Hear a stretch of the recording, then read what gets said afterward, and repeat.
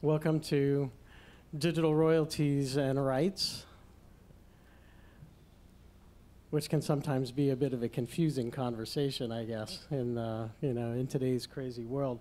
Um, and welcome to Jazz Congress in general. My name is Denny Stilwell. I'm going to be I'm from Mack Avenue Records. I'm going to be kind of guiding our esteemed panelists here through um, through the digital royalties and rights conversation. So um, I just um, would like the panelists to introduce themselves quickly. If Tinku, if we can start with start with you. Hi, um, hi everyone. Um, I'm primarily an independent artist manager. I've been working in jazz and independent music since 1998.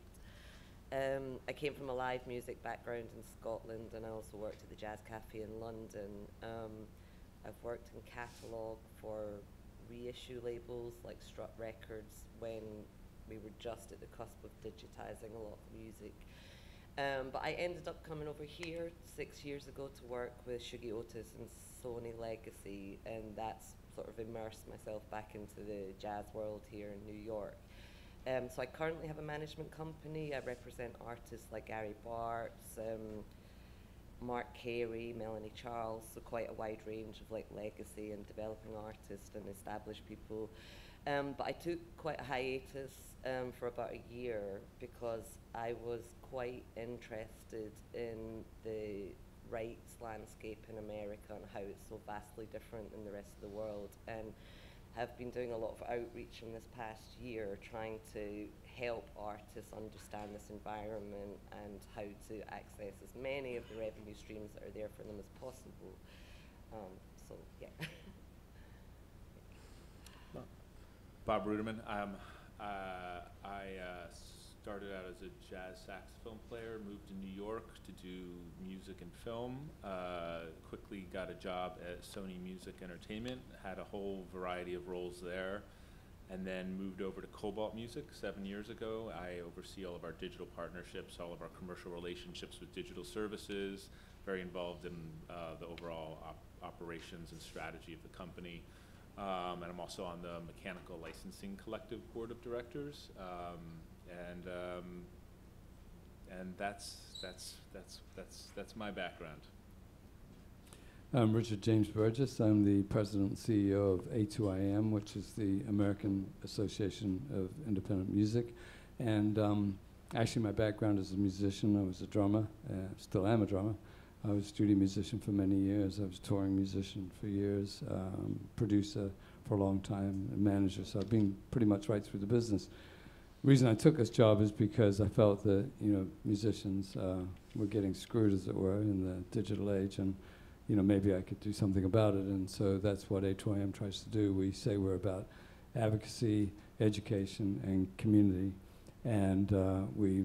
You know, most of what we do is, uh, a large part of what we do is advocacy, where we're out there trying to get the laws uh, changed to become more beneficial to artists and labels.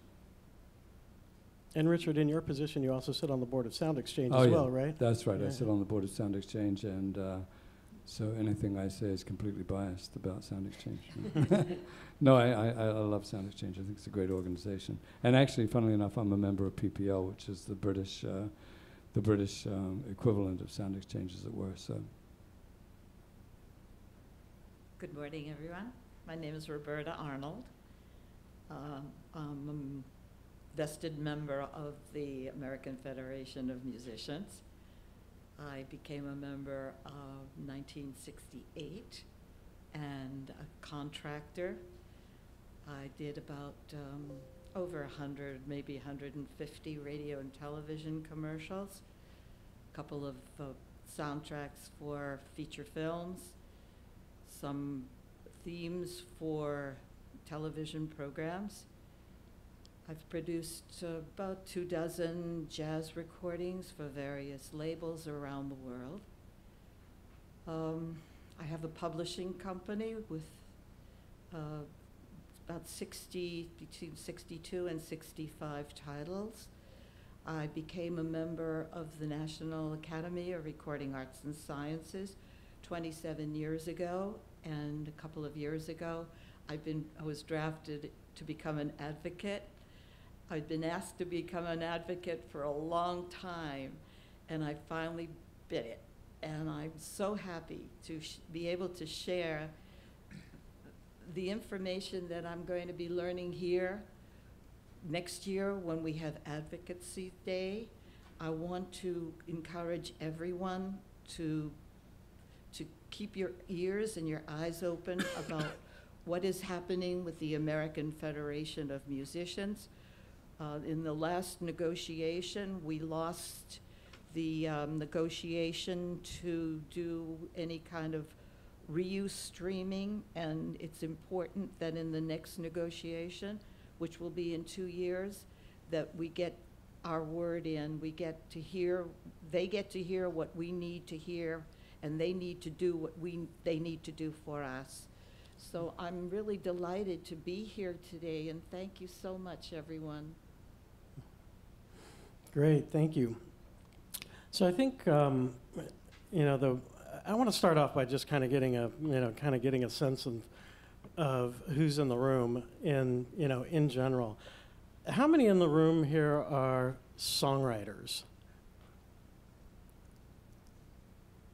Okay, good. And I'm going to make the assumption that many or most are signed up with one of the performing rights societies, ASCAP, BMI, SESAC.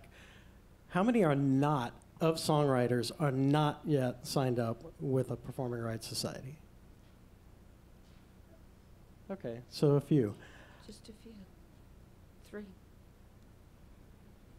Of th- everyone in the room, of performers or songwriters, h- how many are not yet signed up or signed up for Sound Exchange? Okay, so we have some performers who are not, not yet signed up for Sound Exchange. Um, and I should say Sound Exchange or PPL. Richard mentioned PPL. PPL is the, uh, is the UK European version of, of Sound Exchange. How many people in the room of performers or writers are part of a union, like the AFM or SAG AFTRA? Okay, so most, most who are performers are, are not. And how many people in the room are familiar with the Music Modernization Act, the three basic components of it, and specifically the Mechanical Licensing Collective? So a few. Okay, good. All right.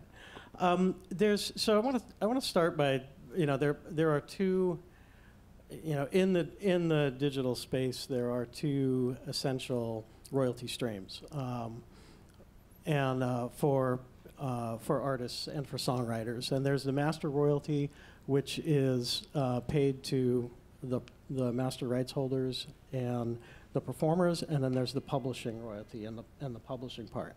So we kind of want to separate those two things out, I think, for this conversation, and we're going to start by talking about performance royalties and, and master and, and master rights royalties. And then we'll get to publishing and songwriter royalties in the second half of the conversation. So I think all of us agreed when we looked at the schedule, we're like, like really we're going to cover this in you know in 50 minutes right to leave time for questions? And it can be a complicated complex landscape. So getting through all of this in you know in this amount of time is probably going to be a challenge you know for us in general. So we're going to try to hit some broad brushstrokes. We're going to leave some time at the um, at the end of the session for for questions which we kind of hope that you you know we'll all have um, would you tinku would you uh, be willing to start us off and give us a general overview of uh, performance royalties and sound exchange and PPL and kind of start the narrative there? Sure. So, um, as, as Denny's saying, this is not about songwriters, what, what I'm going to talk about just now. And the main organization in America who deal with these performance rights are, is Sound Exchange. Um, there's also AARC who deals with a component of, I think it's home taping and reproduction side of that. But um, Sound Exchange didn't exist. It's a very young PRO, and it came about with the advent of streaming because streaming created a revenue stream which is called non-interactive. It's, it's your digital radio, it's your Pandora, it's your Sirius XM. and there wasn't a mechanism in America to collect this type of rights. Um, in the rest of the world, you have companies like um, Richard mentioned PPL in the UK. Um, there's um, who's it Reforward in Canada. I think there, there, there's you know it, it, they, they deal with something called neighboring rights, and that might be a, a term that a lot of people in America don't really understand. Um, it's a right that um, is been given to musicians across the world through something called the Convention of Rome, which protects the performer's right to reserve to, to extract income from this from when your music's played on radio, TV, and now streaming. The problem is America didn't opt into the Convention of Rome 50 years ago, so we don't have this reciprocal agreement with the rest of the world. You record a track here and it's played on BBC in the UK. As a musician, you don't see that revenue. Um, there is a lot of work with Congress, with a lot of bodies trying to challenge that law, but streaming created a revenue stream that didn't exist in America before, and Sound Exchange set up to collect this. Um, now, Sound Exchange very recently put some great tools together, um, and I have to encourage anyone, if you're a session musician, if you're putting out your own featured works, um, you have to pay attention to these companies because money will build up over a number of years in different societies around the world. And um, Sound Exchange are fantastic. They're coming and, and actually proactively reaching out to find the rights holders. Um, there's a bit of a difference between how Sound Exchange deal with this here and in the rest of the world. And I tend to encourage people to look at as many of these societies as they can, and particularly in markets where they have radio play and high numbers in streaming. Um, this is, gets even more complicated because that right is broken into three components. You have your performers part, you have your master rights holders part, and then you have a part for non-featured artists, for session musicians. This money takes a journey across across the globe, you know. So, as a featured artist, your money goes to Sound Exchange. That money is split between whoever the label is. That might be Mack Avenue. That might be you if you're an independent rights holder, um, and your performance as a musician. Um, 5% of that money is then sent to AFM and SAG AFTRA fund, which Roberta might be able to speak to a little more in depth. And it sits there on an unclaimed royalty list. Um, there's a lot of buzz talk right now in this industry about unclaimed royalties, but one thing that is important to understand is you have to go into these platforms, you have to join, you have to go and collect your performances, you have to find them in the platforms and collect them. So metadata is now possibly the most important thing as a rights holder, as an artist, that you need to be thinking about, to think about how many people are touching on it, whether it's Spotify, Pandora, whether it's Sirius XM or the BBC Radio in the UK.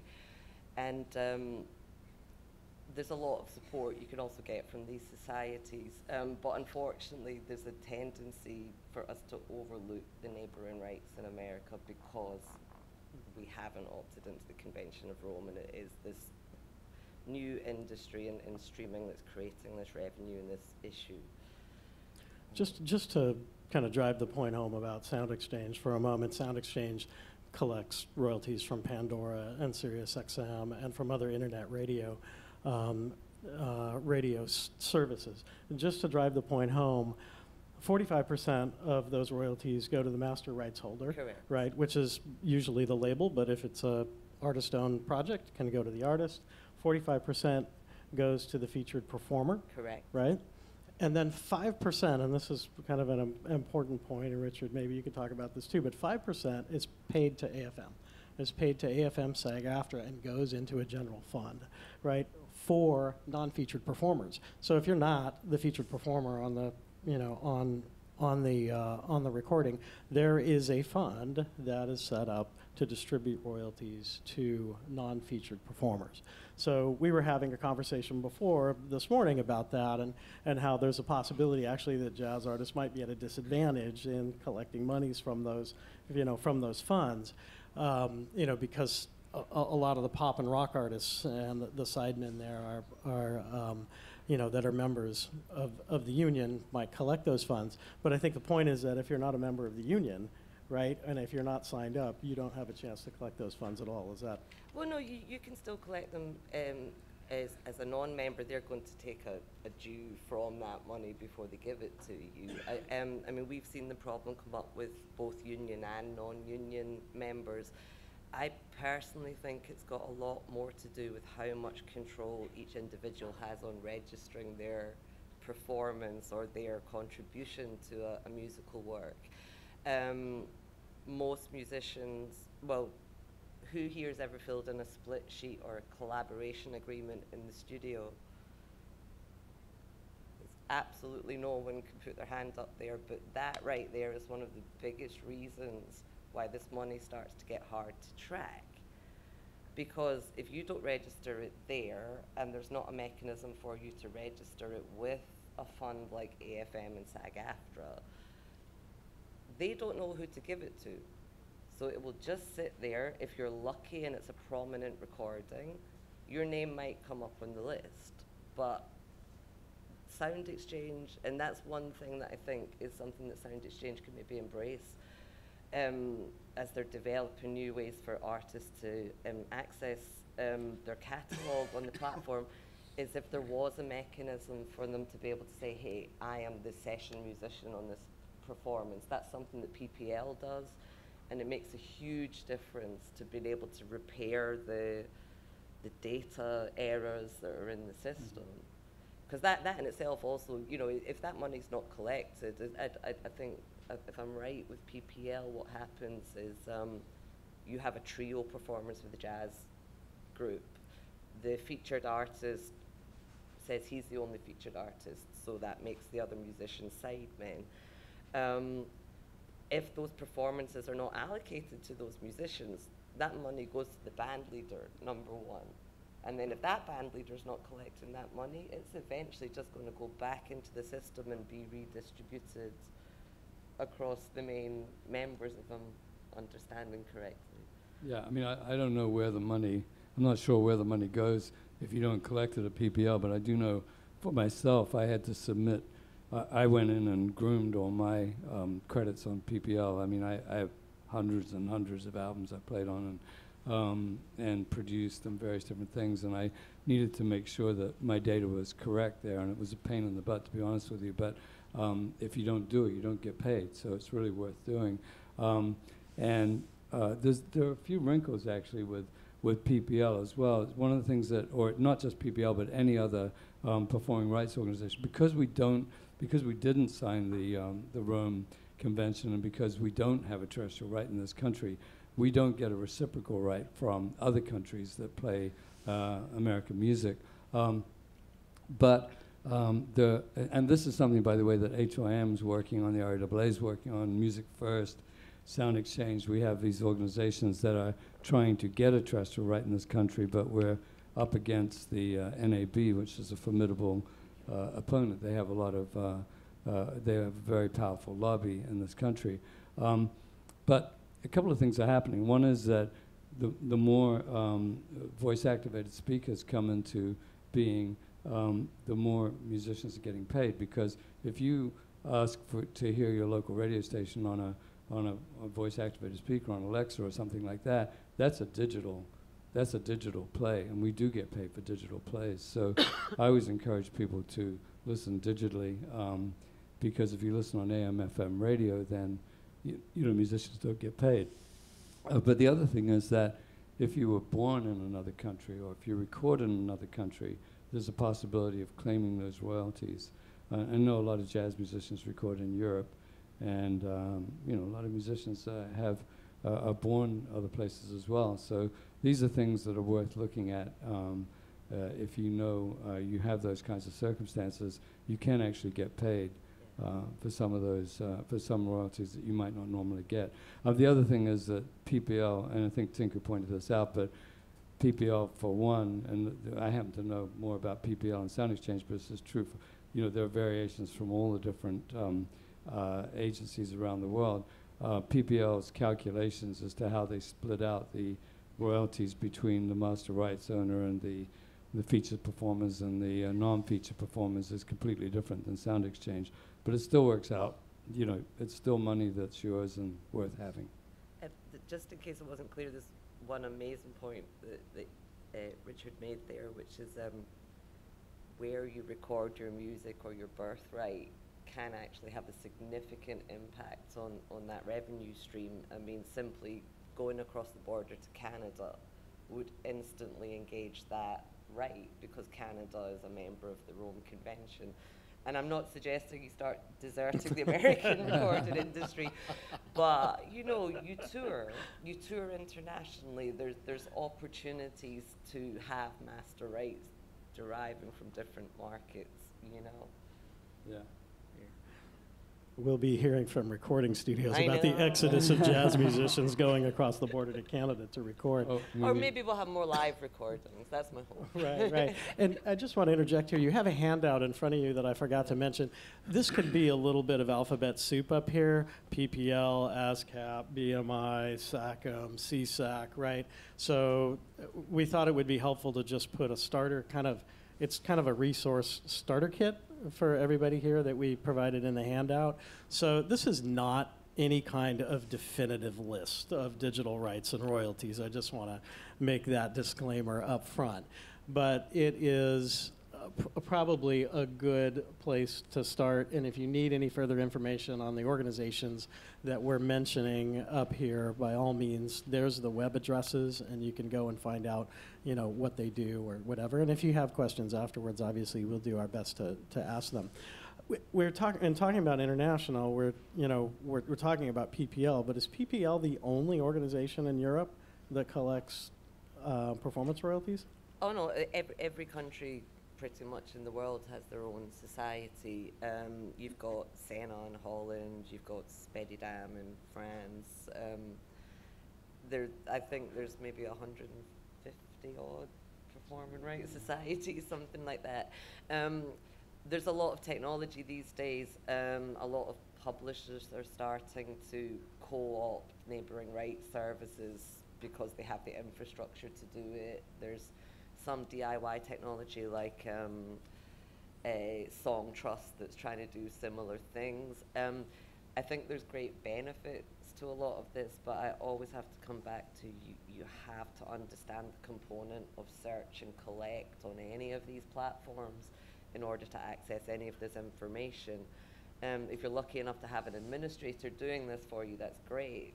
Chances are you don't in this industry, you know. So um, it's great to familiarize yourself with some of these international societies and also understand some of the other, other benefits they have for you as touring musicians. They have funds allocated for touring and recording.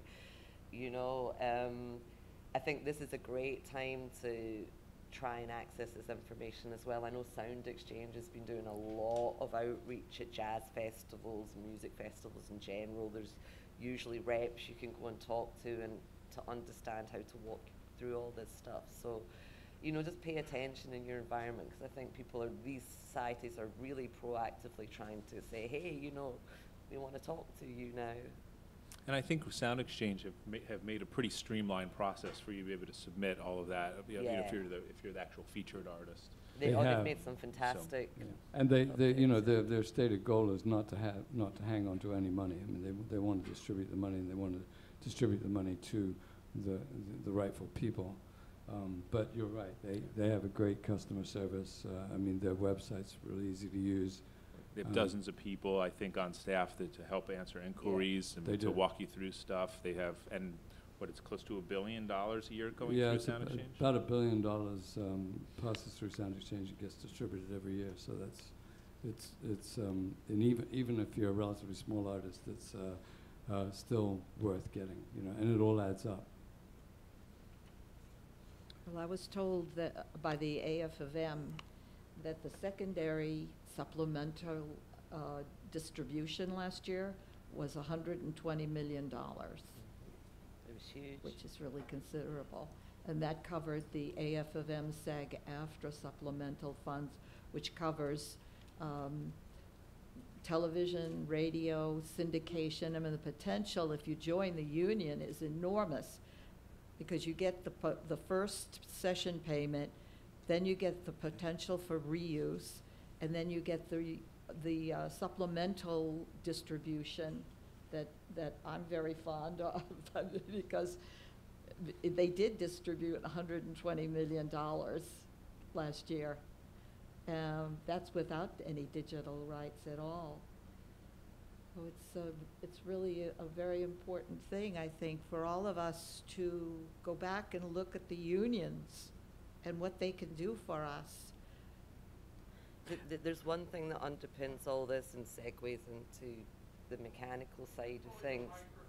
Oh, sorry. Um, th- th- there's one thing that really sits between the songwriters and, and the musicians with all of this, which is metadata. And it's, you know, this, I don't know how much we can dig into this, but the metadata is every single bit of information on your music, who played on it, where it was recorded. And it's amazing how much just a simple error like a spelling mistake in someone's name can lead to a check sitting at local 802. You know, it comes under the black box income, but metadata, whether you're talking about publishing or recording rights, it's absolutely imperative that you understand how to register this information and what's important. Because whether you're looking to, and this applies to like the, the, the academy, people like this as well, if they, um, your metadata now sits on Discogs, it sits on All Music. These are the platforms that the industry will look at to verify whether you own something, whether you're the artist that appeared in all these great performances. So I think that's the key thing to try and focus on as well. And I just, as an aside, I think, you know, there's a lot of, uh, I'm seeing a lot of different companies come forward now with, uh, you know, uh, strategies around credits, around, and, and I think it starts from very basic to, to composition credits, Mhm. to, to uh, performer, perform, um, excuse me, performers credits, but it's, it's really, I think people have, are, are- are developing multi-year plans to try to really replicate the liner notes Yeah. experience, and I think that again, like tying all of this through, uh, you know, in the digital world is has so much opportunity to try to um, stitch together a more meaningful experience and drive engagement too for for your for for your um, recordings and compositions in the future, and try to allow the consumers and fans to try to dig in more and ultimately stream more and consume more and um, you know build up your your uh, your profile with, with, with people. Yeah. I will say, uh, th- there's a company called Jaxsta that just started up that's uh, a credits organization. Part of the problem is that uh, for the past, you know, 15 or more years with digital, we haven't really had liner notes. And uh, so there's quite a lot of recordings that exist that just don't have any credits. And But I, I will say this, it's really, really important. The responsibility lies in this room uh, in large part because a lot of times these credits are not being gathered.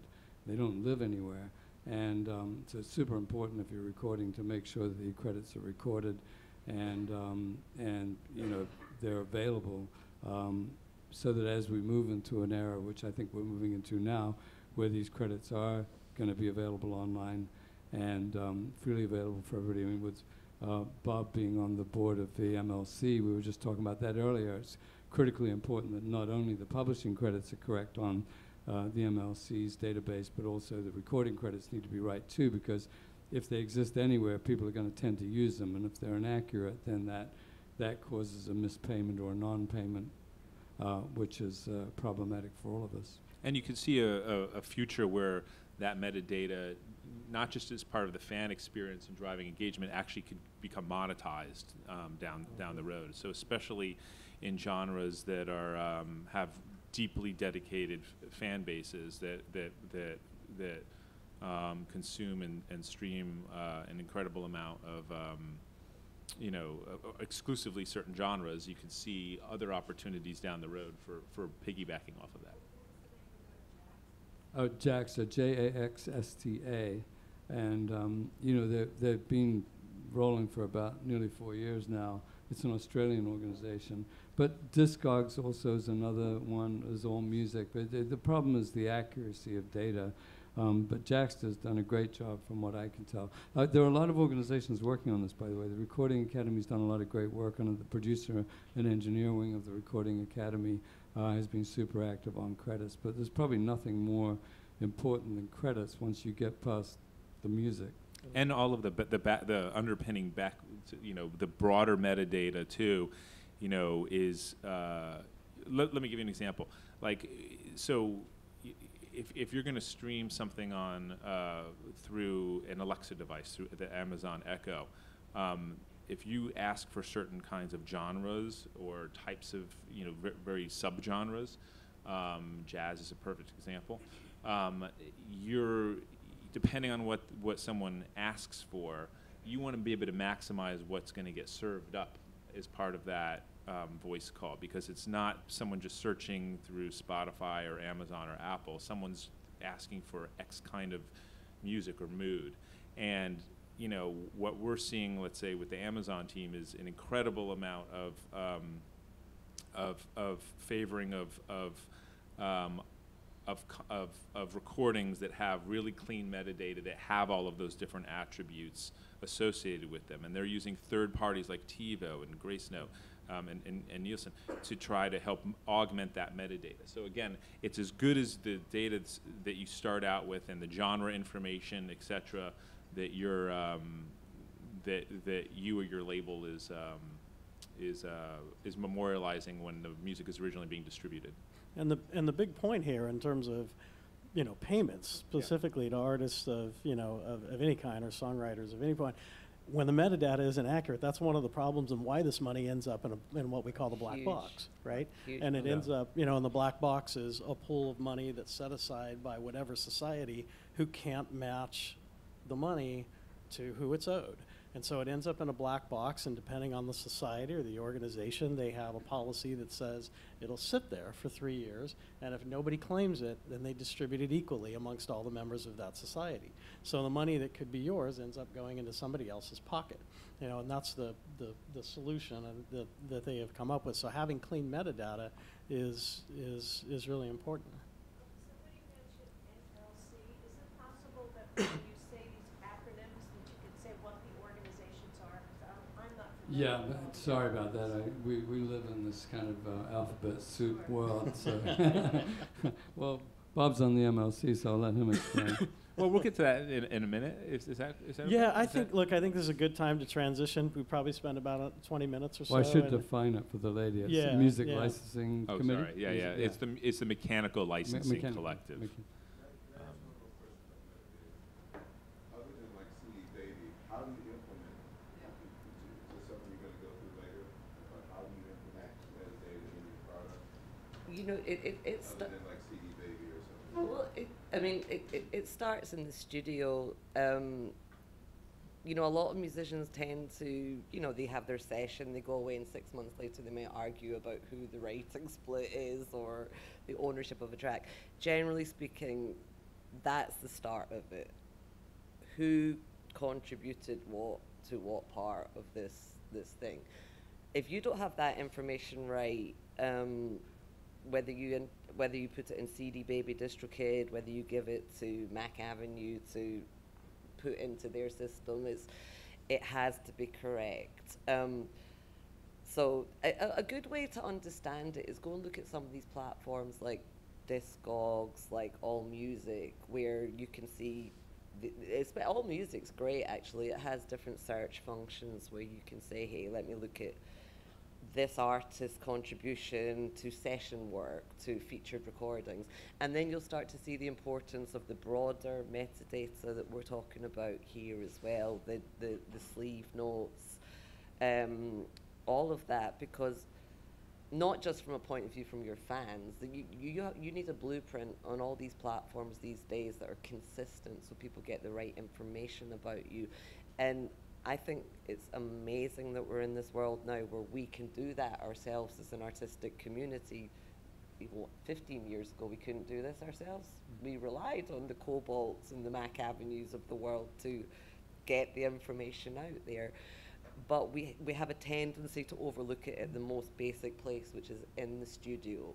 And, and so, you know, I, I, I try and encourage artists to use things like collaboration agreements, split sheets, things that create a paper trail that you can actually then track back your ownership, your contribution to anything you've done, you know?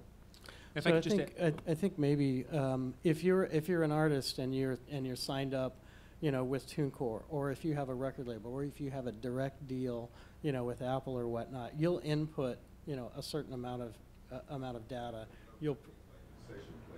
Yes, you do. You put, you absolutely. put as much. yeah. And, and, and that's and that's actually really part of the larger part of the larger point here. I mean and and if you look at it from a sideman standpoint we're we're at the stage now where you know i think it used to be you know credits were credits. It would like it would be great to be getting a credit. But we're at the point here now where side artists are um, uh, side artists are, um, you know, now have the opportunity to be paid, you know, either, you know, directly or indirectly for their contributions. So making sure that as a sideman that you're credited appropriately, you know, properly on a recording is probably more critical now and going forward than it really than it really has been in the past. Wha- And in fact, there's there's some metadata that's getting really granular, in particular for jazz. Like we're being asked who's playing the sax solo on track nine you Yeah. know, and we're asking, they're, they're asking us to put that kind of information into, you know, into our metadata is like this massive spreadsheet of, Yeah. of information, and we're creating more and more and more columns in that spreadsheet just to simplify it, you know, for discussion, to, to, yeah, you, you can actually imprint all And of that- this at your master. if you're organized with your information, your mastering engineer will be able to put a lot of this essential information into the digital master. Um, there's something Denny's saying that's really important there, and if, if we use the example of um, the relationship between Sound Exchange and the AFM and SAG-AFTRA fund, this this five percent that is sent for non-featured artists is basically for backing vocalists and session musicians. And one thing that I see a lot of you don't do is um, say you play saxophone, but maybe you played hand percussion on a track as well. You claim that performance as well. You did some spoken word on it, you claim that too. You might have multiple performances on the one track. The more detailed and granular you could be about that information, the more you're protected and getting as much as you can back. Well, in And- this, i- in. the- Yes, you can. Well, yeah. I mean, it's it's harder retroactively. This is why I say now it's great. These like the distro kids, the CD babies, have a functionality that we didn't have ten years ago to input this information. So, I would say like always factor in that amount of time when you're taking your product to market as well. Don't leave it to the last minute. You know. And uh, just to add to that too, I mean, there, this metadata, like the most major indies and major labels, et cetera, have all of this data. They've been sending this data for 15 plus years to iTunes, to Amazon, to Spotify, to et cetera. It just hasn't been displayed yet. So a lot of this information is all out there, aggregated. Real, a lot of tender care has been put in place, um, and it's it's been frankly slower than I've even thought about the development and rollout of products to the consumers that allow for even just songwriter credits have only gone up on That's I think Spotify a year and a half ago or something right. like that, which is kind of shocking in a way that the songwriter information hasn't even been available. But it's complicated for them to do that. They're getting this different songwriter information from each of the publishers of each of the songwriters. Sometimes it says uh, M. Davis versus Miles Davis, or or, or Beyonce versus uh, you know B. B. Knowles, or uh, Bob Dil- Dylan versus Robert, et cetera, et cetera. So again, I think the, the more and more foundational information everyone puts in place now, I think there's going to be more and more that you you uh, see rolled out over time. yeah, yeah. Um, I'd just one more- like to add one thing. In the last negotia- negotiation with the AF of M, they backed down from the revenue reuse on streaming, and they gave in to having everybody's name on the contract so that, it- so that that's, that's covered. The megadata will be covered on every studio, every studio session. And it's, it's the, the contractor's job to make sure that all of that information is posted with the AF of M or SAG or AFTRA. So it all, it, there's a, a plan, and a plan, if, if we would just follow it, if people would join the union, if record labels will become signatories to the union, all of that could be revenue streaming and for future use for, I don't know, ninety-nine years or Yeah, something. more, more benefits of, of joining the union. You had a, a question back there, and then if we could switch over to the MMA and the ML, the MLC after this. So metadata has been near and dear to my heart for the last five or six years. I speak at MIDEM uh, about jazz and classical music. I've been for years trying to get a jazz style guy started for metadata. And uh, I'm one of the few companies that have a direct agreement with Rovi Grace Note to submit content to them for recordings. I've, uh, since 2007, I've had a direct deal with iTunes to submit my materials directly to them. And one of the things that I've noticed in the last three or four years is that metadata has begun to uh, become corrupt. And even catalog metadata for stuff that's been in the system uh, since 2006, 2007 has begun to come, become corrupted. And in some instances, some people have begun to, in other territories, claim rights for content which I created, which I have the ownership of. And I'm wondering if y'all have noticed a trend uh, uh, in that occurring, because a lot of times when people put in metadata or they submit their content and they think it's right, they, if they go back later and discover, um, and I, I dealt with Sound Exchange on this and some issues, and they had a, they had a, a, a problem with their system and the transfer of some data some years ago, which resulted in some of this information being corrupted in and of itself, yet they didn't notify people. So I'm wondering if any of y'all have, have noticed that itself, and if you go back and revisit, you know, catalog metadata to ensure that after 12, 14 years, even of them getting in this cross information from different sources and have their own internal verification systems, uh, you've noticed any of your data being corrupted.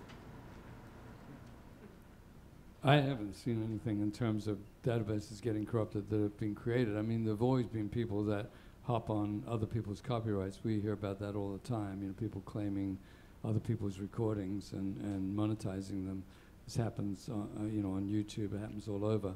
Um, I do, I do want to say, I think, um, I don't think this answers your question, but I, I think that the, the, we've been talking to the DSPs ever since probably 2004, 2005, when iTunes started up, about putting this metadata on their services because I believe not only um, is it important that everybody be credited just because they did the work, but also because I think it's a discovery uh, opportunity. I know I found so many records because of this bass player or that drummer or, or, or and so on and so forth. So I, mean, I think this is this is something we really have to focus on. But I don't, I don't know. I mean, I hear from my labels um, a lot that you know people are claiming their recordings, and then you have to go through that whole notice and takedown process.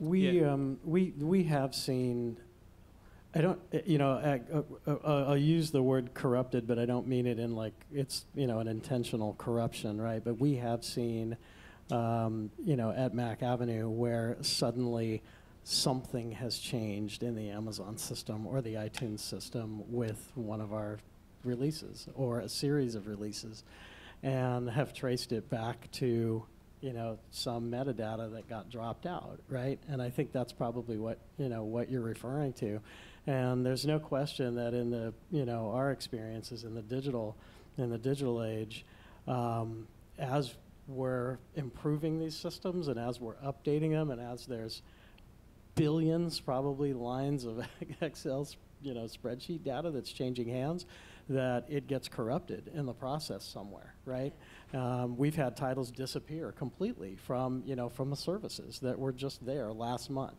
and then we have to chase it down through our through our distributor and there's a modern version of this problem now just to you know just to tell kind of a funny story but now with um, you know with voice activation through amazon and Ale- you know alexa and you know the HomePod. Um, your you know your metadata is now audible. You know, and some time ago, we started sending you know MP3 files to the major services so they could pronounce so that the uh, you know pronunciation of our artist names were correct, right? So if I was asking Alexa to play Julian Lage, it wouldn't play Julian Lage, right? It was super frustrating until I said, Alexa, play Julian Loggy. and then Alexa played Julian Lage, right? And so we had to go back through the system. The same thing happened with Cyrille Aimée, right? Play Cyril Amy, and it works fine, but her name is Cyrille Aimée, and if you say it that way, Alexa wouldn't recognize it. So we had to go back through the system and figure out how we could correct this. So we're sending MP3 files now, you know, with the actual, you know, pronunciation so that so it gets right. That's like a modern day metadata problem, right? That's a real world thing that, you know, that we're that we're dealing with. And it'll change overnight. Six months later, Julian Lage wouldn't play suddenly on Alexa. It just disappeared. Like, what happened? We just fixed this, right? and so and here we come back it again. So it's not just, you know, as we're going forward, it's not just, you know, actually Excel spreadsheet data. I'm going to pause on the questions for a moment so that we can get to some of the, the publishing issues because we've got another section here to, to here to talk about. And Bob, I'm wondering if I could turn it over to you and give us an overview of the Music Modernization Act, which was passed in 2018, and the um, Music Licensing Collective, which is, um, you know, which is an, an outcome of the of that act. Yeah, I, I think if you don't mind me stepping back a little bit from that, even I think it's important to realize that on the uh, to just highlight that on the publishing piece, on the on the composition and songwriting piece, you're you're really talking about a number of different rights and different that are being licensed, to, and it, it can get quite complicated, arguably. Um, but I'm going to focus on the U.S. just for a minute, and I'll, I'll just run through at those at the high level those rights are. One is the pu- public performance right. So, mo- so most, it's, uh, many at least, are you know registering with ASCAP, BMI, SESAC uh, to handle their performance rights. So those are the your radio royalties, etc. Um, um, uh, general licensing related, you know, uh, public performance uh, income. There's mechanical, which is the reproduction.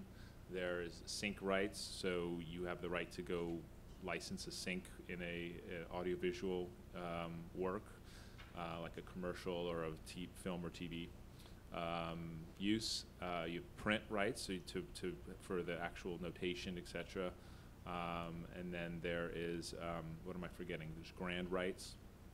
Um, so I guess a I would I would say it's really important to generally a, a music publisher will handle all of these rights for you. So Packaging, I'm sorry. packaging rights? Well, there's the uh, well I, I said grand rights, but Oh. there's you can uh, there's the lyric rights and, and right which I'm which kind of I would put under a subset of uh, print rights.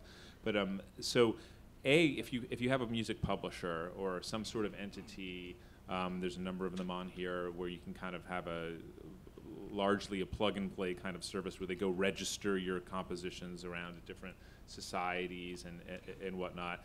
You can have a solution that pr- presents you with a um, just like with a label can can can um, effectively manage and administer all of your your composition rights. Um, if you're an independent and you want to kind of go go you know piece by piece here and try to do it all yourself, a I would uh, you you you, you pretty much have to register with a PRO. So if you, you haven't done that, I would do that. Um, on the mechanical piece, you know, for on-demand streaming, you really have two rights uh, that are invoked uh, in the publishing side. You have both a public performance and you have a mechanical right. On the mechanical side, historically, those were handled via compulsory licenses, where the services like Spotify and Apple would have to go either secure a license directly with you, or they would have to go uh, file a compulsory um, notice of intent um, to, to get a, a license that is available um, through, through copyright law, um, and as long as they fulfill a whole number of um, fairly stringent um, requirements. That became a real mess, I think, as many of us know, which resulted in a number of lawsuits, a lot, a lot of royalties disappearing or not finding their way to the right people. Um, and it was not good for songwriters, it was not good for publishers, and it was not good for uh, streaming services who just wanted to, you know, I think in their view, put have a comprehensive catalog offering to make available to consumers across the board.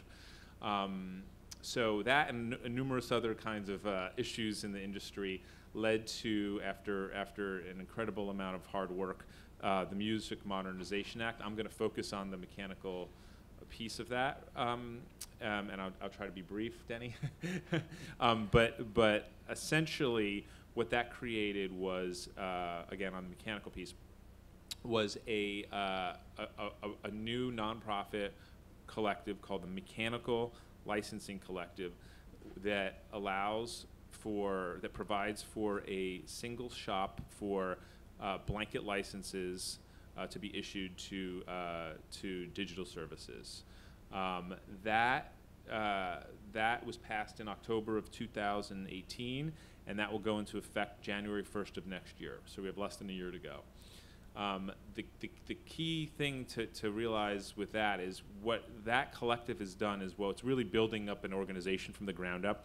But that, uh, about I think roughly in, in November, uh, we announced that we've partnered with uh, the Harry Fox Agency and Consensus and some other partners uh, as just as part of the initial group to uh, provide the backbone for that uh, for that service. Meaning, it will will essentially be a database that that handles all of the, the rights management um, component, but that also mean, and it will handle all the royalty distributions from there.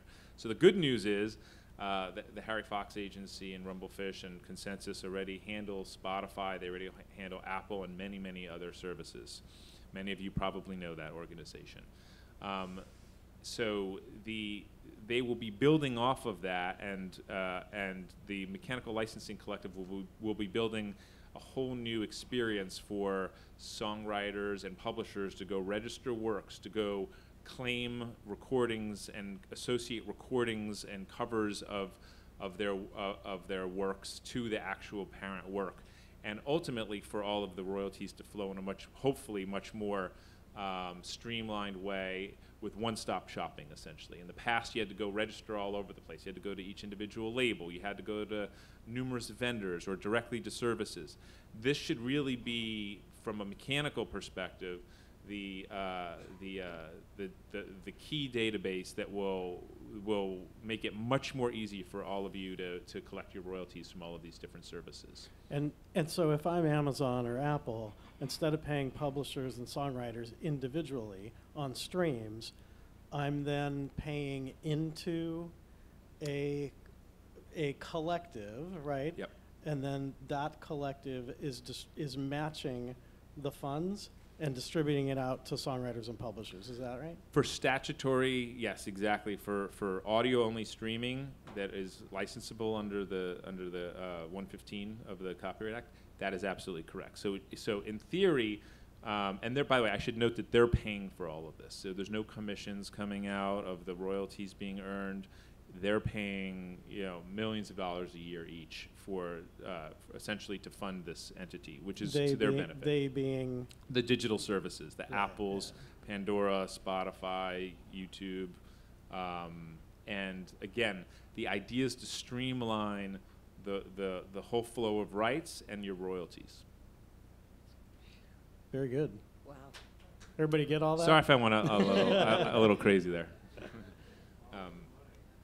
Um, A lot of money. money. A lot of Um, so, but the, the key thing is again, if you're already registering, if you're, or if you're, you or your publisher is already registering works, I'd be shocked if they're not already, already registering with the Harry Fox agency. Um, the Harry Fox agency also allows you to go in and register things one off pretty easily, though you know you can anticipate a, a, a uh, you know a point where we want to make sure that things are crystal clear, super streamlined, and one-stop shop for people. So there'll be a portal in the future that will allow really simple uh, registrations of works. So no matter uh, no matter your technical sophistication, it'll allow for more more robust, uh, you know, sending of, of metadata feeds and whatnot. Um, and it will allow for uh, a claiming portal that will help you try to find again recordings that you that may not have been paid in the past. And, and while this is a, you know, a massive undertaking, Yeah. really, there's a model for this in Europe, right? Is, you know, this is the way that publishing and songwriter royalties in general are distributed in the EU, right? Yeah, in the EU, it's a, it's a little bit different, um, where it's broadly speaking, because things have gotten get a little complicated. But um, broadly speaking, in the same way that ASCAP or, and BMI and SESAC will will handle, let's say, um, the licensing of general licensing. So for let's say bars and restaurants and whatnot, you'll have let's say uh, PRS in the UK that will will has historically gone and licensed um, the mechanical and the performance right, so all the rights to a, a specific service. It's gotten a little complicated over time because you've had you've had different as you've had global platforms. You've you've had different entities, including uh, my company, um, where you want to be able to have a global license, one license, and not go through individual societies. So, all, in the societies that you were mentioning on the on the um, on the um, on the neighboring yeah. rights side, you know, I think there's 200 and It's a crazy amount. 10 or 12 or something like that uh, publishing soc- related societies around the world. So, um,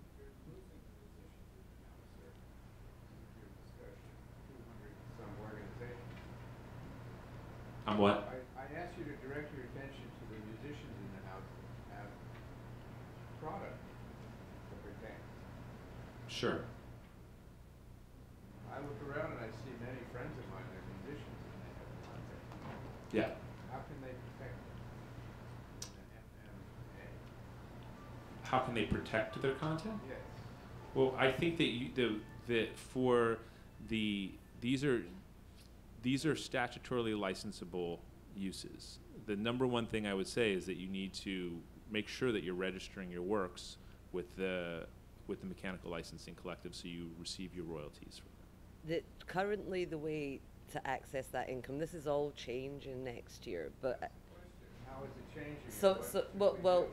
w- the, the biggest fundamental difference is right now the ownership is predominantly on the platforms to register this information and, and, and get the money to the bodies that need it. And right now, you in America, it's Harry Fox, it's Harry Fox, and it's Music Reports. Um, through both of those portals, you will get um, the statutory 115 NOI notices. Um, a lot of people, you might see them come through your mailbox. You get letters and letters saying iTunes wants to put this track on their, their thing. Right now, that's the only way to claim that money unless you have a publishing administrator or some other intermediary doing it for you. But you can join direct to Music Reports. You can have an affiliate account with Harry Fox, We're currently you can do that so you have some control. The, the difference, of I'm understanding right, with the uh, mechanical uh, collective is that um, the ownership now really comes back to you, the rights holders and the the creators. Uh, it's on you to get this information correct and to the mechanical licensing collective rather than the other way around. That's what a blanket license means. Spotify will no longer have to come and say, "Hey, can we put this on our platform?" Uh, am I right? Is that a good? You're suggesting there's a time frame that in the future we will be able to do, report this information to whom? To the mechanical licensing collective. Right now, your options are to join Music Reports and join Harry Fox as an affiliate, and then go into their systems and use the same search and claim function. I, Um, I have a It's really about question. registering, p- archiving, taking your, your composition information and registering it in their database. It should be that simple as a, f- as a first step. yeah. When you say musicians in the room, though, you're referring to composers or you're referring to players? Oh, I think the players are the ones, in my opinion, that haven't received their due yet. Right. Well, so players are not covered by the MMA. That's for composers. That's we were touching on that more with the Yeah. neighbouring rights. So that- um, That's where our industry gets really complicated because the actual players are covered by the recording side and composers are covered by the publishing side. covered in MMA? Well, actually, the MMA um, took two components from the Fair Play, Fair Pay Act, one of which was called the Classics Act, and the other was called the AMP Act. So the AMP Act covers producers, the Classics Act covers pre-72 recordings, um, which was a big win, actually, in the MMA for the recording side. And um, so if anybody here has recordings that were made before 1972, I think it's February 2nd, 1972, something like that, I can't remember. That's Um, right. The, um, they were previously not covered by federal law. They were not protected at all. So radio, Sirius, Spotify, anybody could play your recording digitally, and and you wouldn't get paid. Now you can get paid. Um, still don't get paid on terrestrial radio in this country, but you do get paid for digital plays. So, but in terms of um, uh, you know performances, if you play on a record today, it's not going to be affected by the MMA per se. Let's um, take, we've got 10 minutes here. Let's open up the room for, uh, for questions. If you guys could come to the microphones, that would be super helpful. There's a mic right there for questions, so that way everybody in the room can, can hear. Um, hi. Hi. Good Great, great. Um, there's two questions. The Easy Song licensing I've been using because it's very inexpensive and it's easy to do as opposed to Harry Fox. Sometimes it's a little complicated. Also, JASRAC, you guys haven't mentioned Japan. Well, we we would have to basically publish a mini book to to cover all the societies comprehensively. Um, On the, on the handout, there's an Yeah, we- example of, you know, societies and, and, um, yeah. And then there's plenty of places you can go to get this, like the information on who the bodies are. Like Wikipedia is actually very good for information on all these different societies and stuff. I'm, I would like to quite ask you though. You, you mentioned what song li- easy song licensing. Are you talking about um, actually licenses that you're soliciting for cover songs and stuff rather than registering your own stuff? I wasn't aware. I'm paying to, I'm paying to license. Well, I, I- think generally the, the difference is that, that that's that's a it's a choice. It's you just like Songtrust, for instance, on mechanical rights. Now you can pay them a percentage. I think it's ten percent, and a, a joining fee, and they'll do all that heavy lifting for you. That can be valuable if you have a lot of income. If you're an artist starting out, I generally think it's good to learn how to work with these societies direct because you're just giving away 10% of, you know, nothing at the beginning, really. Um, In other words, if I record something, instead of paying Harry Fox for a license, I pay Easy Song license. well, they just, but they're, they're, you're paying an extra fee to them to go to Harry Fox, depending on whether you're making physical or just digital product these days. If you, if it's just digital product you're doing, DistroKid, CD Baby, you can get that mechanical license right there on the platform without using a third party. Um, yeah, but other services like that are definitely third parties you're going to be paying an additional fee on. So it's about time versus. I, I thought I was paying less. Yeah, no, you definitely won't be paying Yeah, I less. am paying less. I'm- As opposed to going to Harry Fox. No, absolutely impossible. That's what I'm doing. You're not. kidding. That's impossible. Maybe I'm not doing it. Harry Fox are Harry Fox are the only people in, currently in America that can issue a mechanical license. Nobody else can. No, no publisher can, anyone can. No, well, yeah, well, a public, yeah, if, if, uh, you could go direct to a publisher who represents a catalogue. That's a different thing. But you're talking about a third party that doesn't represent I'm not familiar with the rights with the holder. service. I, I think I think that's what you're talking. There's a few of those services now, um, but I generally you're paying an extra fee. You can't you can't negate what the publisher or Harry Fox might need as their advance or. I think, um, if I'm understanding you correct. Maybe I'm not doing the right thing. Maybe I'm not going to Harry Fox as well. But I was led to believe under Easy Song licensing and their promotion that, yep, just come here. you Well, can this is do I'm saying there's a service. They're saying, "Hey, we'll umbrella over this and do it for you." But I, I just want you to understand you're not paying less for that because they will have to pay whatever the rate the publisher or Harry Fox says is And there's a statutory rate for mechanical licensing, isn't there? Well, So- Yeah, I just, I think what you may be saying is that there, that there may be a fee for the, the, Yeah, that they're charging that is service a, lo- fee. is low, a lower fee than what Harry Fox charges on top of the license itself potentially, but I, I, I just don't know enough Yeah. about that service Yeah. to know exactly how to compare it with the Harry Fox agency. Yeah, hi. Um, yeah, so I have a, uh, small one, one-person in-house label. That's it. Yeah. Is there kind of a worksheet or something that, where I can find out everything I need to register, like, you know, besides the licenses and that sort of thing, but to get with whatever organizations that are administering royalties and that kind of thing? Any place I can get like a worksheet where I can know that I'm getting my royalties Well, from we- everywhere? We've tried, to- we've tried to cover quite as much as we can on, on two pages on, on that sheet. That'll give you the sort of entry level, go look at SoundExchange and your PROs. Right, I'm and- with Sound Exchange and all that stuff. Yeah, uh, um, there's a couple of um, tech entrepreneurs that are actually quite good who, who will give you a good roadmap. I think we've included them here, Ari Herstand and Dave Bogan. Um, Dave Bogan's quite an interesting character because he came up with a technology called um, TuneRegistry to try and centralize your metadata needs before you push it through to all these platforms. So I would Mhm. suggest maybe looking at their websites and the Okay. information's on there because they can break it down in real sort of layman's terms as to step one, register here, step two, you know. Okay, all right, great. Yeah. And, uh, and to get back on the metadata issue, I just want to know how to make sure that all of the players are covered within the royalty stream. The best way to do it is by having split sheets and collaboration agreements when you're in the studio. So at that time. So Yeah. Nothing, nothing retroactively I can do It's, it's always harder retroactively, and especially Yeah. when it comes to like songwriting splits and stuff. People might maybe Right. not feel the same Well, way the come the songwriting studio. aspect of it is pretty covered. Yeah. I mean, I've generally only collaborated with one person, maybe two. That's all covered. They're Yeah. all covered under the publishing agreements and that kind of thing.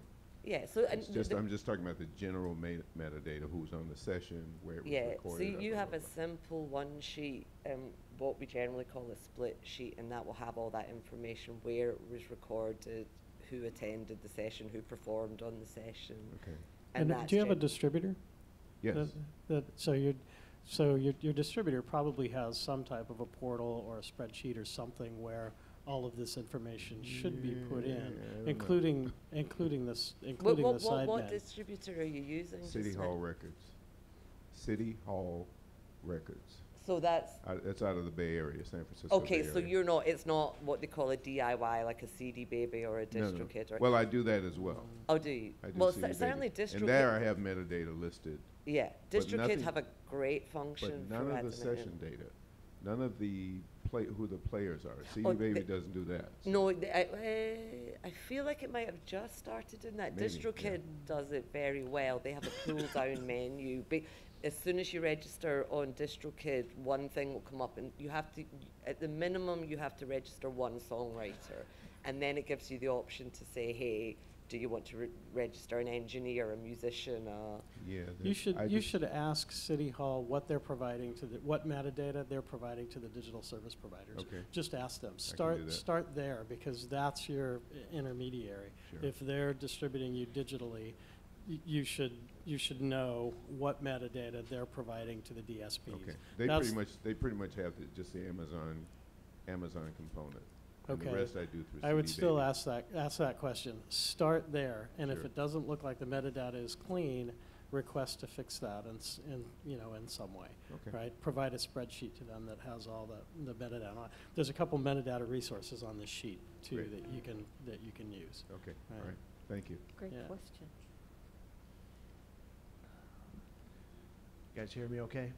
Uh, I can do this. Uh, I'm c- uh, coming out with a digital-only release. I have a PDF one sheet with all the credits that I've given to the radio hosts and, and all concerned. How important do you think a digital booklet is uh, these days to include uh, when I distribute to CD Baby or I post it on Bandcamp? uh, for the digital rights that you're talking about. I, I've embedded, I, I ISRC codes into each of my tracks with my engineer, but the uh, Sidemen data is not on there, which they know about. So, um, The sideman data is, n- is not on the one sheet? Is it's that on what the you're one saying? sheet, absolutely, but not, Okay. not in the, uh, not in the actual digital files of the Oh. recording. Uh, yeah, it's not Okay, got embedded it. in the master. So, uh, I, I believe in liner notes. I think giving the listener some background information, of course, I- I don't think anybody's going to disagree with me there. It's a matter of, uh, when I need to find out who's on a record, I just Google it like everyone else and I, I find out personnel. But I like to give my listeners at least some kind of background on the Yeah. tunes, where it was recorded, what I was having Yeah. for lunch, that kind of thing. Yeah. But, but what do you guys recommend? Is it, is it worth the expense? And then how is that handled? I, I know that uh, iTunes or I, uh, uh, Apple Music have the option of buying a, or include a digital booklet. I'm just wondering how that affects my, um, somebody calls up my name. It, uh, it seems like people are picking up my recordings anyway. Yeah, we're not, we're not even doing digital booklets anymore. The, you know, Okay. basically the, you know, the research has been that there weren't enough fans that were really downloading them. I didn't you find know. that either. Yeah, so it's, you know, we, we were doing it for every release in the early, you know, in the early stages, and now we're really not doing anymore. That information is generally, we make available as much as we can online, right. you know, and, uh, and then obviously that's the conversation about metadata here too. I mean, I miss liner notes, right? I mean, that's, you know, I think all, you know, probably most of us in this room have some experience, you know, those of us who are old enough to remember these days anyway, you know, have some experience with, you know, reading liner notes and finding out who played drums on track seven and who produced the album and who engineered it and all that. And so I'm, I miss that and, and I'm looking forward to the solution. And there will be one. I look forward, forward to the solution for that. But right now it'd be a personal preference for you. But there's not, that right now there's not a lot of companies that are providing digital, you know, digital booklets. Okay, thank you. for- Thank you. Probably one more question, and then we're, and then we're out of time, but I, I think the panelists can hang for a few minutes afterwards and answer questions, you know, individually. Hi, uh, I'm a little confused uh, with uh, PRS. and You work with PRS in the UK? I, I personally do, yeah. I mean, so Yeah. I just happened to, uh, I was born in the UK and I, I, wor- I did a lot of my work there. So I initially signed up with PRS and PPL and MCPS in the UK. So that's just So historical. how does PPL different than PRS?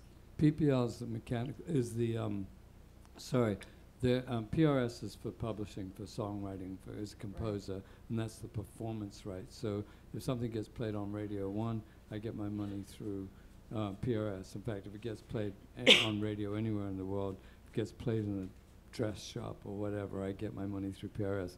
If, um, if it's sold on a, on, on, on a CD or vinyl, I get it through MCPS, and PRS and MCPS are basically one company now. And, um, uh, but uh, that's for the song, for the composition. But if the actual performance, the playing, producing, whatever, then I get paid through PPL. So it's, it's exactly the same as um, ASCAP, BMI, SESAC for the publishing side, for the songwriting side in this country, and SoundExchange for the performance side. So SoundExchange is basically equivalent to PPL. ASCAP, BMI, SESAC are basically equivalent So to do you PRS. register with PPL separately than PRS? Yes. Yeah, I did. Yeah, I mean, actually, now I think they coordinate, but I, I in the beginning, um, a, uh, PRS, MCPS, and PPL were separate when I when I signed up. Because we, our, our first albums came out in 1998, and Expansion Records, you know, was handling it in the UK, and he suggested that we join PRS, which I did, and you could go back and retroactively claim, That's uh, correct. you know, any royalties. Sure. But for the last two albums, they were just released in the US here, and we had nothing to do with expansion. So do we still, uh, should we still try and go back to Well, uh, you, you should you should register um, all your material if you're already a member of PRS and PPL. Anyway, I would register with them anyway because the other component of this is where your music is getting played and where your music is getting Okay. sold. Okay. Um, one thing that we've not had the time to touch on it today, but you can in an instant like that, you can join PPL in the UK and you can join SoundExchange. They have what they call international mandates for collection. Okay. So you can tell SoundExchange, hey, I only want you to collect in America. And you can go to PPL, and it, let's say you got a lot of radio play and airplay in the UK, like with Ralph Teasley, then it would be, um, that would be a time where P- being a member of PPL and PRS would be beneficial to you as well. So there's those considerations as well, depending on where you are in your career. And you get paid faster if you do that. Yeah. So, you know, if you, if you're getting a lot of play in Germany and you join the German organization, you would get paid more quickly than if it has to filter through, um, you know, partner organization in whatever country you're based in. Yeah, because we're getting a lot of airplane in Switzerland now, but I know Yeah. nothing about. Well, the, the, the other side is, is, is um, PPL, and I feel like I feel like um, the Swiss PRO as well. Are um, they go back six years in terms of back royalties compared to I think it's three years here for most of the platforms. So Yeah, it's worthwhile doing. yeah. Okay, great, thank you. So you'll want to contact SUISA in Switzerland. Yeah, in Zurich. I want to uh, thank this esteemed panel of experts here for donating their time this morning. I hope that you all found this conversation useful. It can be complicated. I think all of us up here know that. And thank you for attending. Thank you. And thank all of you Thank you for, very for joining us here this morning. Appreciate it. Thank you, everyone. Thank you, Denny. Thank you, Denny.